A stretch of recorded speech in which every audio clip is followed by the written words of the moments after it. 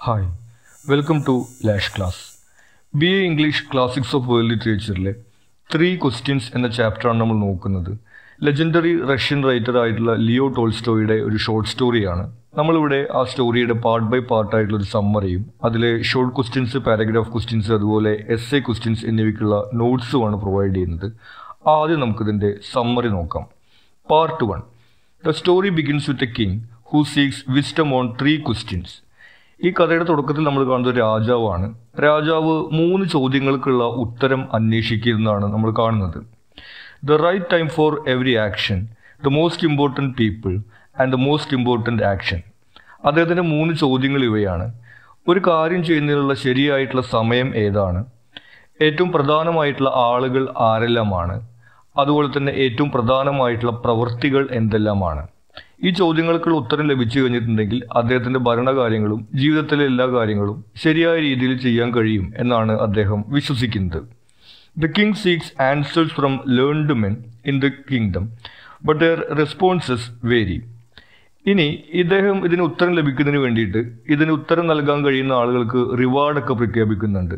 സ്വാഭാവികമായിട്ടും അദ്ദേഹത്തിന്റെ കൊട്ടാരത്തിലും അതുപോലെ തന്നെ നാട്ടിലുമുള്ള പല അറിവുള്ള ആളുകളും വന്നിട്ട് അദ്ദേഹത്തിന് ഉത്തരങ്ങൾ കൊടുക്കുന്നുണ്ട്. പലരും പല ഉത്തരങ്ങളാണ് അദ്ദേഹത്തിന് കൊടുക്കുന്നത്.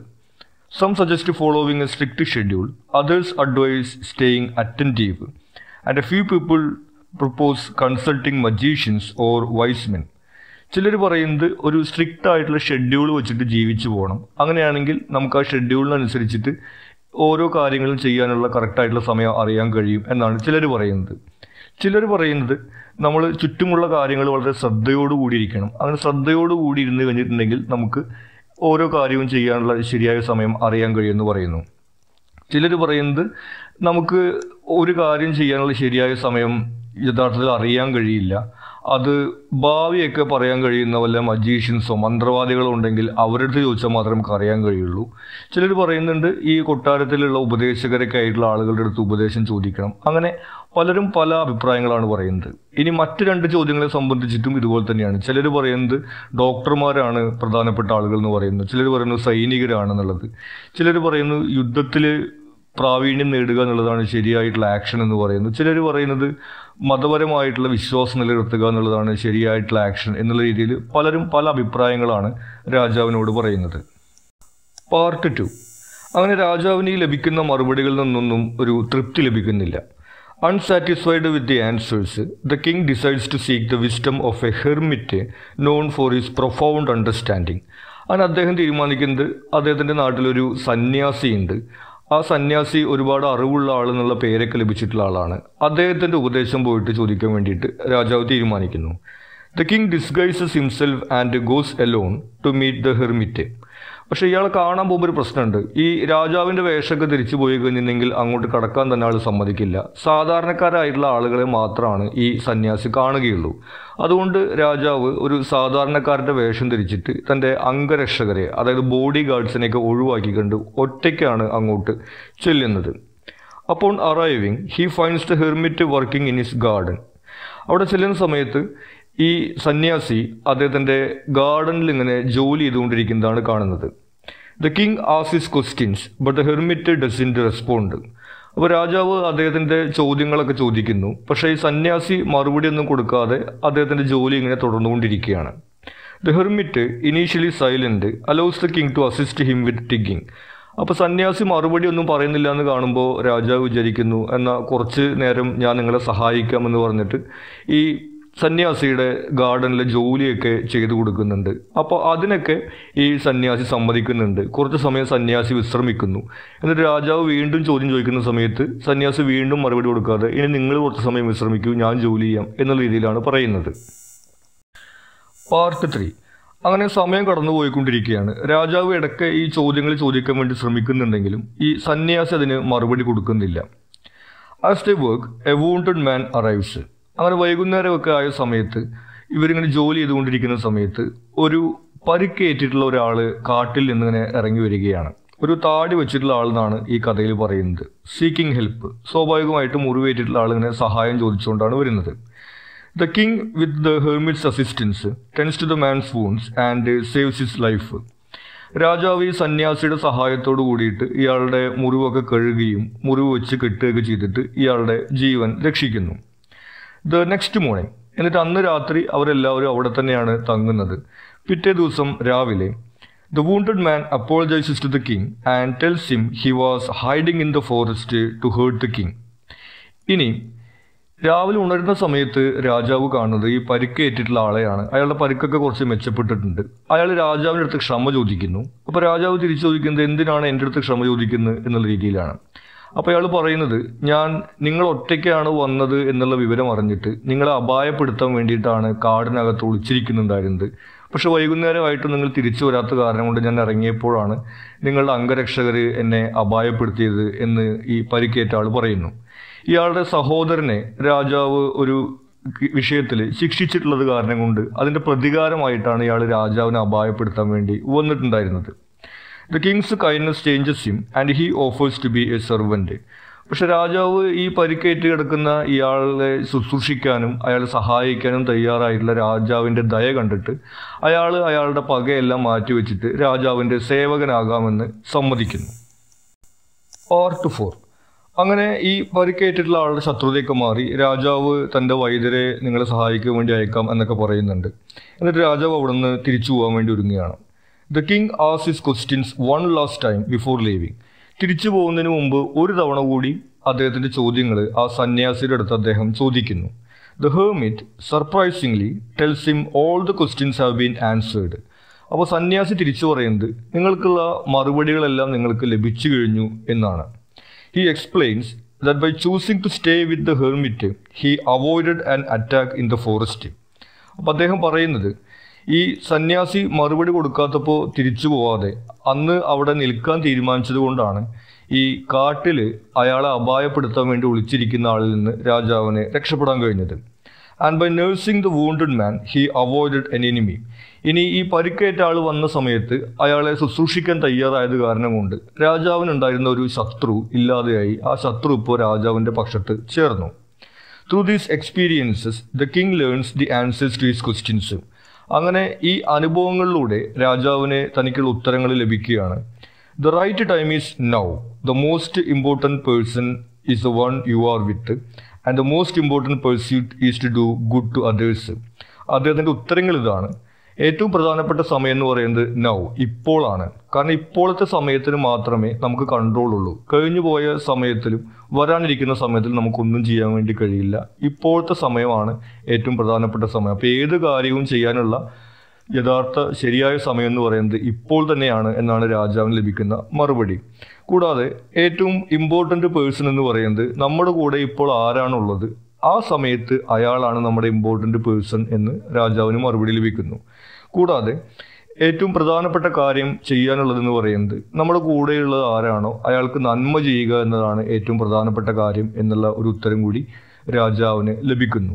അങ്ങനെ രാജാവിന്റെ ഈ ചോദ്യങ്ങൾക്ക് അദ്ദേഹത്തിന്റെ അനുഭവത്തിലൂടെ ഉത്തരങ്ങൾ ലഭിക്കുന്നതാണ് നമ്മൾ ഈ കഥയിൽ കാണുന്നത്. ഈ കഥ നമുക്ക് ലഭിക്കുന്ന സന്ദേശം എന്ന് പറയുന്നത് ജീവിതത്തിൽ നന്മ ചെയ്യുക എന്ന് പറയുന്നത് അതുപോലെ തന്നെ ഓരോ നിമിഷത്തിന്റെ വിലയെയും നമ്മൾ മനസ്സിലാക്കുക എന്നുള്ളതാണ് ഏറ്റവും പ്രധാനമായിട്ടുള്ള പാഠങ്ങൾ എന്നുള്ളൊരു സന്ദേശമാണ് നമുക്ക് ഈ കഥയിൽ നിന്ന് ലഭിക്കുന്നത്. ഇനി ഇതിലെ നോട്ട്സ് ആണ്. ആദ്യം ഷോർട്ട് ക്വസ്റ്റ്യൻസ് നോക്കാം. What were the three questions that occur to the king why was he eager to get answers to the questions രാജാവിന്റെ മൂന്ന് ചോദ്യങ്ങൾ എന്തായിരുന്നു? എന്തുകൊണ്ടാണ് അദ്ദേഹത്തിന് അതിനും ഉത്തരം ലഭിക്കണമെന്ന് ഇത്ര താല്പര്യം ഉണ്ടായിരുന്നത്? The three questions that occur to the king were the right time for every action അദ്ദേഹത്തിന് ഉണ്ടായിരുന്ന മൂന്ന് ചോദ്യങ്ങൾ എന്ന് പറയുന്നത് ഒരു കാര്യം ചെയ്യാനുള്ള ശരിയായിട്ടുള്ള സമയം ഏതാണെന്നുള്ളതും ദ മോസ്റ്റ് ഇമ്പോർട്ടന്റ് പീപ്പിൾ ഏറ്റവും പ്രധാനപ്പെട്ട ആളുകൾ ആരാണെന്നുള്ളതും and the most important pursuit ജീവിതത്തിൽ ചെയ്യാനുള്ള ഏറ്റവും പ്രധാനപ്പെട്ട കാര്യം എന്താണ് എന്നുള്ളതായിരുന്നു അദ്ദേഹത്തിന്റെ ചോദ്യങ്ങൾ. He was eager to get answers to these questions because he believed that knowing them would ensure success in all his undertakings. അദ്ദേഹത്തിന് ഈ ചോദ്യങ്ങൾക്കുള്ള ഉത്തരം ലഭിക്കാൻ വലിയ താല്പര്യം ഉണ്ടായിരുന്നു. കാരണം അദ്ദേഹം വിശ്വസിക്കുന്നത് ഇതിനുള്ള ഉത്തരങ്ങൾ ലഭിച്ചു കഴിഞ്ഞിട്ടുണ്ടെങ്കിൽ ജീവിതത്തിൽ അദ്ദേഹം ചെയ്യുന്ന എല്ലാ കാര്യങ്ങളിലും അദ്ദേഹത്തിന് വിജയിക്കാൻ കഴിയും എന്നാണ്. Briefly mention the answers given by the wise men to the first question ഇനി രാജാവിന്റെ ആദ്യത്തെ ചോദ്യം. ഒരു കാര്യം ചെയ്യുന്നതിനുള്ള ശരിയായ സമയം ഏതാണ് എന്ന ചോദ്യത്തിന് അദ്ദേഹത്തിന് ലഭിച്ച മറുപടികൾ എന്തെല്ലാമായിരുന്നു? The wise men gave varied answers to the first question അദ്ദേഹത്തിന് വ്യത്യസ്തങ്ങളായിട്ടുള്ള മറുപടികളാണ് ലഭിച്ചത്. Some suggested following a strict schedule ചില ആളുകൾ പറയുന്നത് കൃത്യമായിട്ടുള്ള ഒരു ഷെഡ്യൂളിനനുസരിച്ച് ജീവിക്കുകയാണെങ്കിൽ ഓരോ കാര്യത്തിനുള്ള സമയം നമുക്ക് കൃത്യമായിട്ട് അറിയാൻ കഴിയും എന്നാണ്.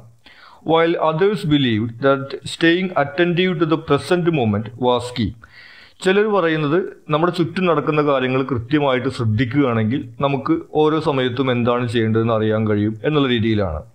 A few proposed consulting magicians or wise men for guidance ചില ആളുകൾ പറയുന്നത് ശരിയായിട്ടുള്ള സമയം അറിയാന്നൊക്കെ പറയുന്നത് അസാധ്യമാണ്. ഒന്നുകിൽ കുറച്ച് വൈസ് ആയിട്ടുള്ള കുറച്ച് അറിവുള്ള ജ്ഞാനമുള്ള ആളുകളുടെ ഉപദേശം തേടാം. അതല്ലെങ്കിൽ ഈ മജീഷ്യൻസ് മന്ത്രവാദമൊക്കെ അറിയുന്ന ആളുകളുണ്ടെങ്കിൽ അവർക്ക് ഒരുപക്ഷെ പറയാൻ കഴിയും എന്നാണ് ചിലർ കൊടുക്കുന്ന മറുപടി. How did the wise men answer the third question ഇനി ഇദ്ദേഹത്തിന്റെ മൂന്നാമത്തെ ചോദ്യത്തിന് ജീവിതത്തിൽ ഏറ്റവും പ്രധാനപ്പെട്ട കാര്യം എന്താണെന്നുള്ള ചോദ്യത്തിനുള്ള മറുപടികൾ എന്തെല്ലാമായിരുന്നു? The wise men had different answers to the third question as well മൂന്നാമത്തെ ചോദ്യത്തിനും അദ്ദേഹത്തിന് വ്യത്യസ്തങ്ങളായിട്ടുള്ള മറുപടികൾ തന്നെയാണ് ലഭിക്കുന്നത്. Some believed that science was the most important pursuit ചില ആളുകൾ വിചാരിക്കുന്നത് സയൻസ് ആണ് ശാസ്ത്രമാണ് ഏറ്റവും പ്രധാനം എന്നുള്ള രീതിയിലാണ്. Others thought it was skill in warfare ചില ആളുകൾ വിചാരിക്കുന്നത് യുദ്ധത്തിൽ പ്രാഗൽഭ്യം നേടുക എന്നുള്ളതാണ് പ്രധാനമായിട്ടുള്ള കാര്യം എന്നാണ്. And some considered religious worship to be the most important ചില ആളുകൾ പറയുന്നത് മതപരമായിട്ടുള്ള വിശ്വാസവും ആ വിശ്വാസത്തിനനുസരിച്ചുള്ള ജീവിതവുമാണ് പ്രധാനം എന്നാണ് മറ്റു ചിലർ അഭിപ്രായപ്പെട്ടത്. Why did he go to the hermit in simple clothes and without a bodyguard ഇനി എന്തുകൊണ്ടാണ് രാജാവ് സന്യാസിയെ കാണാൻ പോകുന്ന സമയത്ത് അംഗരക്ഷകർ അഥവാ ബോഡി ഗാർഡ്സ് ഇല്ലാതെ ഒരു സാധാരണക്കാരന്റെ വസ്ത്രത്തിൽ പോവാൻ കാരണം. He went to the hermit in simple clothes and without bodyguard because the hermit only met with ordinary people അതിന്റെ കാരണം ഈ സന്യാസി സാധാരണക്കാരായിട്ടുള്ള ആളുകളെ കാണാൻ മാത്രമേ ഇഷ്ടപ്പെട്ടിരുന്നുള്ളൂ. രാജാവിന്റെ വേഷവുമായിട്ട് ചെന്നു കഴിഞ്ഞാൽ സന്യാസി അയാൾ സ്വീകരിക്കില്ല എന്നുള്ളത് കൊണ്ടാണ് അദ്ദേഹം ഒരു സാധാരണക്കാരനെ പോലെ അങ്ങോട്ട് പോകുന്നത്. What was the hermit doing when the king arrived how did he react to the king's queries ഇനി രാജാവ് ചെല്ലുന്ന സമയത്ത് ആ സന്യാസി എന്ത് ചെയ്തുകൊണ്ടിരിക്കുകയായിരുന്നു? രാജാവിന്റെ ചോദ്യങ്ങളോട് ഈ സന്യാസി എങ്ങനെയാണ് പ്രതികരിക്കുന്നത്? When the king arrived the hermit was digging the ground in front of his hut അദ്ദേഹത്തിന്റെ കുടിലിന് മുൻപിലുള്ള അദ്ദേഹത്തിന്റെ ഗാർഡനിൽ ഒരു കുഴി കുഴിച്ചുകൊണ്ടിരിക്കുകയാണ് ഈ സന്യാസി രാജാവ് ചെല്ലുന്ന സമയത്ത് ചെയ്യുന്നത്.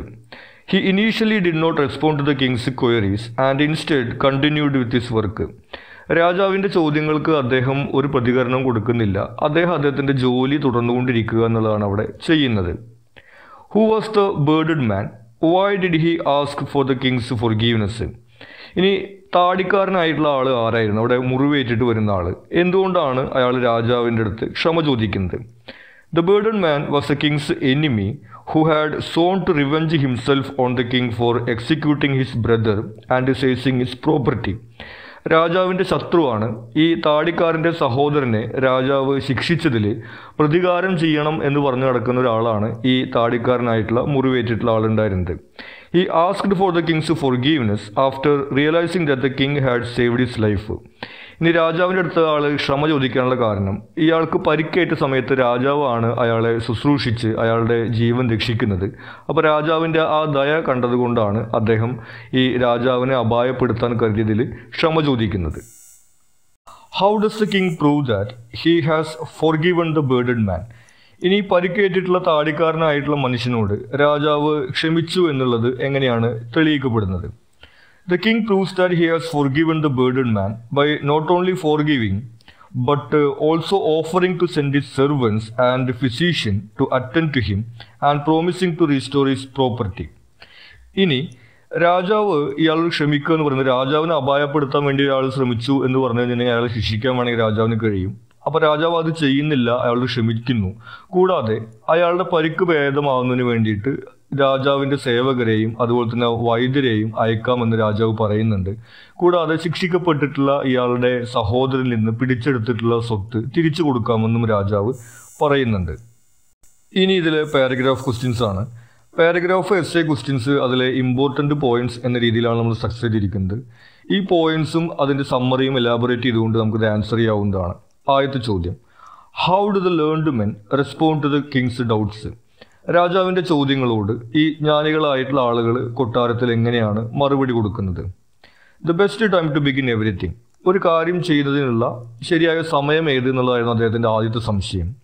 Some suggest making a predetermined schedule for all actions കുറച്ച് ആളുകൾ പറയുന്നത് ഒരു ഷെഡ്യൂൾ അനുസരിച്ച് ജീവിക്കുകയാണെങ്കിൽ എല്ലാ കാര്യം ചെയ്യുന്നതിനുള്ള സമയം നമുക്ക് അറിയാൻ കഴിയും എന്നാണ്. Others advise staying vigilant and acting upon immediate needs മറ്റ് ആളുകൾ പറയുന്നത് ചുറ്റുമുള്ള കാര്യങ്ങൾ എപ്പോഴും ശ്രദ്ധിച്ചുകൊണ്ടിരിക്കുക. അപ്പോൾ നമുക്ക് ഓരോ സമയത്ത് എന്താണ് ചെയ്യേണ്ടതെന്ന് അറിയാൻ കഴിയും എന്നാണ് ഇനി വേറെ ചിലർ അറിവുള്ള ആളുകളുടെ ഉപദേശം തേടാനും അതുപോലെ മന്ത്രവാദികളുടെ ഉപദേശം തേടാനൊക്കെ പറയുന്നുണ്ടായിരുന്നു. The most important people to listen to ഇനി ഏറ്റവും പ്രധാനപ്പെട്ട ആളുകൾ എന്നുള്ള ചോദ്യം. Some propose to the counsellors as the most crucial individuals ചില ആളുകൾ കൗൺസിലേഴ്സ് അതായത് രാജാവിന്റെ സഭയിലുള്ള ആളുകളാണ് ഏറ്റവും പ്രധാനപ്പെട്ട ആളുകൾ എന്നാണ് പറയുന്നത്. Other suggest priest doctors or even warriors hold greater importance ചിലർ പറയുന്നത് പുരോഹിതന്മാരാണ് വൈദ്യന്മാരാണ് അതുപോലെ തന്നെ യോദ്ധാക്കളാണ് എന്ന് പറഞ്ഞ ആളുകളും ഉണ്ടായിരുന്നു. The most important thing to do in life ഇനി ജീവിതത്തിൽ ചെയ്യേണ്ട ഏറ്റവും പ്രധാനമായിട്ടുള്ള കാര്യം എന്നുള്ള ചോദ്യമാണ്. Science warfare and religious worship are all proposed as the most vital pursuits ചില ആളുകൾ പറയുന്നത് ശാസ്ത്രം എന്നാണ്. ചില ആളുകൾ പറയുന്നത് യുദ്ധം എന്നാണ്. ചില ആളുകൾ പറയുന്നത് മതവിശ്വാസം എന്നാണ്. ഇങ്ങനെ പല രീതിയിലുള്ള ഉത്തരമാണ് അദ്ദേഹത്തിന് ലഭിച്ചിട്ടുണ്ടായിരുന്നത്. Adventures of the king at the hermit's place ഇനി രാജാവിന് ഈ സന്യാസിയുടെ അടുത്ത് ആ സ്ഥലത്ത് വെച്ചിട്ടുണ്ടായിട്ടുള്ള അഡ്വഞ്ചേഴ്സ് ആണ് ചോദിച്ചിട്ടുള്ളത്.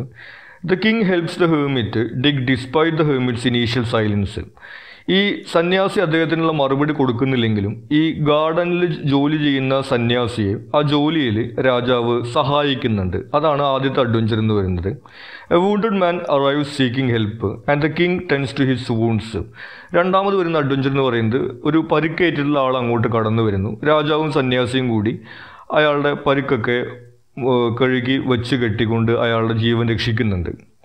The king spends a night at the hermit's place and learns valuable lessons about the present moment ഇനി പിന്നീട് വരുന്ന കാര്യം ആ രാത്രി അദ്ദേഹം അവിടെയാണ് തങ്ങുന്നത് എന്നുള്ളതാണ്. പിന്നീട് നേരം വെളുക്കുന്ന സമയത്ത് അദ്ദേഹത്തിന്റെ അഡ്വഞ്ചർ എന്ന് പറയുന്നത് ഈ താടിക്കാരനായിട്ടുള്ള മുറിവേറ്റിട്ടുള്ള ആൾ അദ്ദേഹത്തോട് ക്ഷമിച്ചു എന്ന് പറയുന്നതും അതുപോലെ ഈ അനുഭവങ്ങളിലൂടെ അദ്ദേഹത്തിന്റെ ചോദ്യങ്ങൾക്കുള്ള ഉത്തരം ലഭിച്ചു കഴിഞ്ഞു എന്ന് സന്യാസി പറയുന്നതുമാണ്.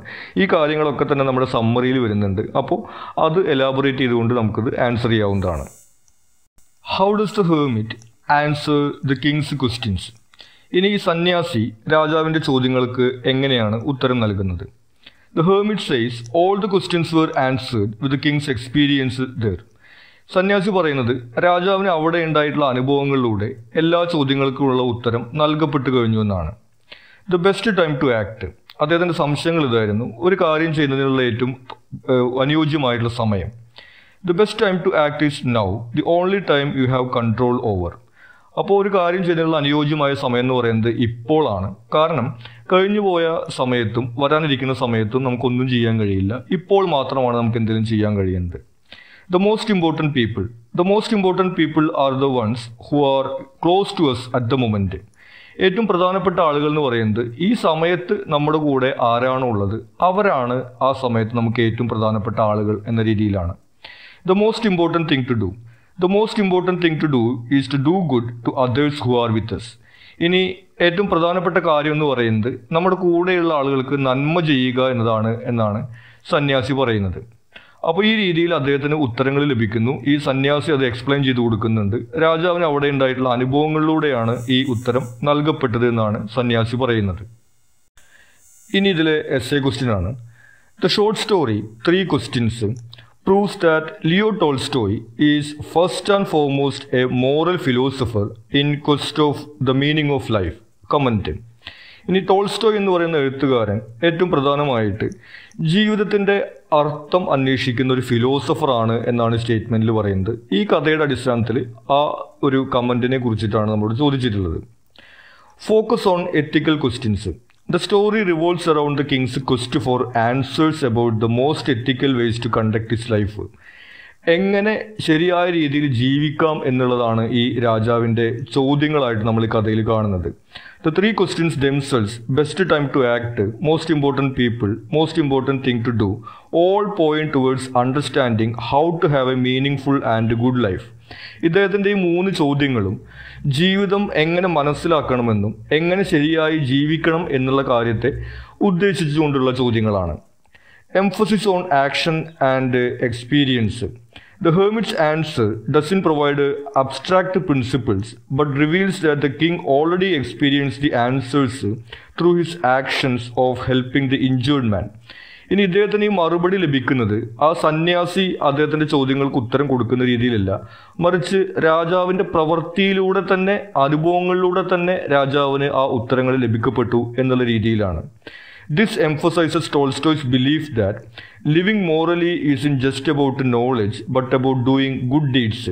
അപ്പോൾ ടോൾസ്റ്റോയുടെ ഒരു ഫിലോസഫി നമുക്കിവിടെ കാണാൻ വേണ്ടി കഴിയും. അതായത് ഒരുപാട് അറിവ് നേടുക എന്നുള്ളതല്ല. നന്മ ചെയ്യുക അത്തരം പ്രവൃത്തികൾ ചെയ്യുക എന്നതിനാണ് പ്രാധാന്യം എന്നുള്ളതാണ് അവിടെ പറഞ്ഞു വയ്ക്കുന്നത്. Compassion and service as key values the story portrays the act of helping a stranger in need as a highest good this aligns with Tolstoy's emphasis on compassion social responsibility and service to others as crucial aspects of meaningful life ഇനി compassion and service മറ്റുള്ളവർക്ക് നന്മ ചെയ്യുക സഹാനുഭൂതി പ്രകടിപ്പിക്കുക എന്ന് പറയുന്നതാണ് ഏറ്റവും പ്രധാനമായിട്ടുള്ള കാര്യമായിട്ട് ഇവിടെ നമുക്ക് കാണാൻ വേണ്ടി കഴിയുന്നത്. അങ്ങനെ ഒരു സാമൂഹിക ഉത്തരവാദിത്വത്തോടു കൂടി ജീവിക്കുക എന്നുള്ളതാണ് ഏറ്റവും പ്രധാനപ്പെട്ട കാര്യം എന്നുള്ള രീതിയിലാണ് ഈ സ്റ്റോറിയിൽ പറഞ്ഞു വെക്കുന്നത്. അതും ടോൾസ്റ്റോയുടെ ഫിലോസഫിയുമായിട്ട് നമുക്ക് മനസ്സിലാക്കാൻ വേണ്ടി സാധിക്കും. ഈ രീതിയിൽ ജീവിതത്തിന്റെ അർത്ഥം അന്വേഷിക്കുന്ന ഒരു ഫിലോസഫർ എന്നുള്ള രീതിയിലാണ് ഈ ഒരു കഥയിൽ നമുക്ക് ടോൾസ്റ്റോയെ കാണാൻ കഴിയുന്നതെന്ന് നമുക്ക് പറയാം. ഇത്രയും കാര്യങ്ങളാണ് നമുക്ക് ഈ സ്റ്റോറിയിൽ ഇമ്പോർട്ടന്റ് ആയിട്ട് വരുന്നത്. നിങ്ങൾക്ക് എന്തെങ്കിലും സംശയങ്ങളോ സജഷൻസോ ഉണ്ടെങ്കിൽ നിങ്ങൾ കമന്റ് ചെയ്യുക. കൂടാതെ ഈ ചാനൽ നിങ്ങളൊരു സബ്സ്ക്രൈബ് ചെയ്തിട്ടില്ലെങ്കിൽ സബ്സ്ക്രൈബ് ചെയ്യുക. താങ്ക്